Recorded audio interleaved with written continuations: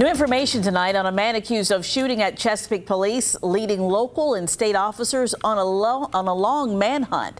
New court documents reveal how cell phone pings played a part in the search for Jamel McSwain. They also describe how he didn't act alone. 13 News Now reporter Stephen Graves is in the studio with more. Yeah, this search for him spanned multiple cities, so we ended up piecing together paperwork, finding out another person was also arrested in this investigation. A common theme, though, while McSwain was on the run, contact with women. You might remember this scene in Portsmouth April 3rd, a shot up Chesapeake police car. Jamel McSwain wanted after police say he led them on a chase to this mobile home park off Victory Boulevard. The search for him lasted for days, and now documents say he didn't work alone. Court paperwork says during the chase, he called the mother of his child. She told police he said he loved the baby and didn't know how this would end.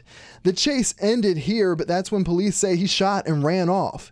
April 5th, SWAT raided the home of his baby's mother after an anonymous tip. He wasn't found though, but paperwork says police did get his number. A cell phone ping led them to this apartment complex in Chesapeake off Leinster Street. Police say they actually saw McSwain here, lost him, but a woman admitted to having him in her apartment. She told police he mentioned going out in a blaze of glory. A day later, documents say police arrested another woman, Capron Smith. She is accused of accessory after the fact.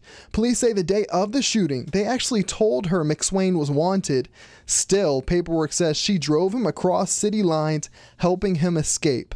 After more than a week, April 14th, McSwain was arrested in Norfolk on an outstanding warrant. Today, we asked the mother of McSwain's child if she at least knows Smith. She said she has no idea who she is.